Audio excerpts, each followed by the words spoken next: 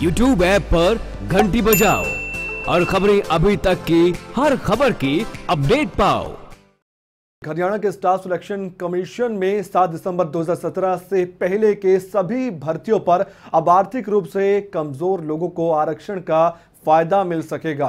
Court ने आज सुनवाई में ये कहा है कि 7 दिसंबर 2017 से पहले के सभी मामलों में इसका फ़ायदा मिलना चाहिए। वकील गोविंद पराशर ने यह बताया कि 7 दिसंबर 2017 को कोर्ट ने कालिंदी वशिष्ठ की एक पिटीशन पर इस मामले में स्टे दे दिया था, जिसके चलते उस समय की भर्ती और पूर्व के आवेदन और विज्ञापन में भी हरियाणा स्टाफ सिलेक्शन कमीशन इसका फ़ायदा नहीं दे रहा था।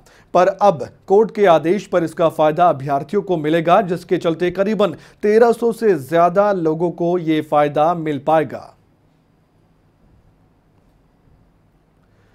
तो अपने आप में ये बड़ी खबर उन लोगों के लिए भी है जो जनरल कैटेगरी से आती हैं, आर्थिक रूप से पिछड़े हैं, आमदनी इतनी नहीं है उनकी, और जहाँ इस मामले को लेकर पहले स्टे लगाया गया था हाईकोर्ट के द्वारा, एक याचिकाकर्ता के द्वारा याचिका दायर की गई थी और कहा भी गया था कि जो 50 फ़ीसदी से ज़्यादा ये जो आरक्षण जाता है और किसी भी तरह जो आर्थिक आधार पर यह आरक्षण नहीं दिया जाता है संविधान में ऐसा कोई प्रावधान नहीं है।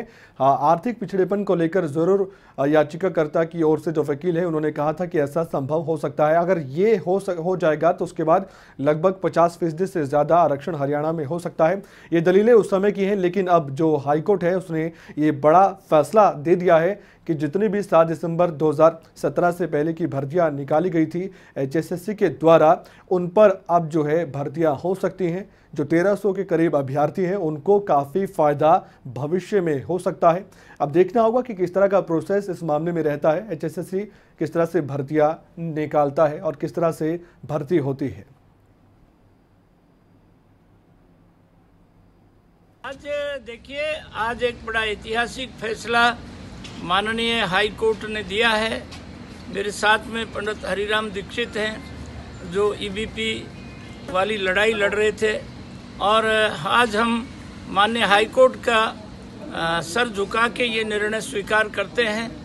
और माननीय मुख्यमंत्री जी का हम धन्यवाद करते हैं कि उन्होंने ये 1370 जो बच्चे, जिनका सिलेक्शन हो गया था, कुछ पोस्टों का रिज़ल्ट रुका हुआ था। और आज के माननीय हाईकोर्ट के निर्णय के बाद वो सब निर्णय इनके हक में हो गए हैं और आज ये बच्चों के चेहरे की जो खुशी है, वो देखते हुए बनती है।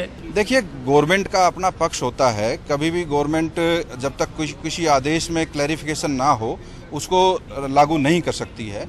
चाहे वो एचएसएससी हो एच हो, या कुछ कॉरपोरेशन हो, उनमें सभी में ये इफ़ेक्ट था।